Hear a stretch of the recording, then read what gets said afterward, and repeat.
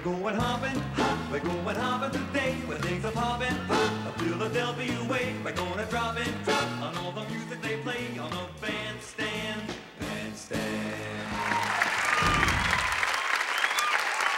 Man is stripping for action already. Look at this. He's taking his clothes off. This is Richard Griffiths Peter, is that right? Peter, let me ask you, if you will, please, to introduce me to the lady and the rest of the gentlemen.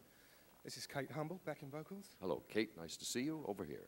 John Gosling on keyboards. Thank you, John, for joining us. You better stand up, sir. Nobody will be able to see you. Yes. This is Tony Beard on drums. Tony, thank you very much. Uh, bass player, please. Our bass player is Graham Edwards. And all the way back with the, uh, the dark shades on over there. you got to get a little light on this, man. There he is. Guitar and saxophone, Alan Murphy. And your associate, Richard Drummie. Now, how long ago did you two get together? Uh, we've been friends for about 10 years. We've been writing for about four years now. Did the music always sound like what we just heard? No.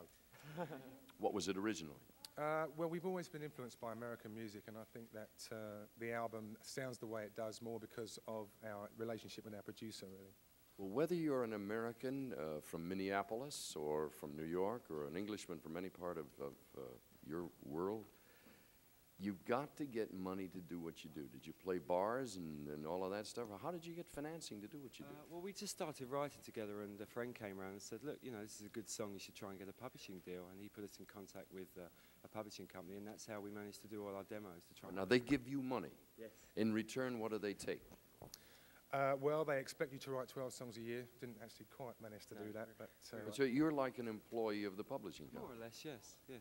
Uh, Is that forever or is it a limited length of Yeah, time? it's a limited length of time, but we're, we're very happy with the company. I mean, they saved our lives, really. Well, that's it's one of the things a lot of people don't understand when they start out how you keep uh, from starving to death. Now, as you made the demos, and people take them and say, "We'll get back to you," you go out of your mind waiting for the answer.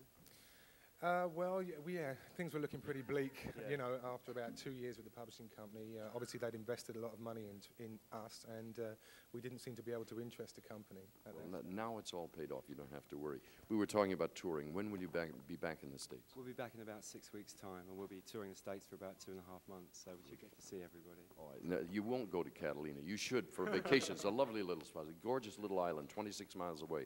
What will we hear next, please? This is Call Me. Ladies and gentlemen, once again, go west.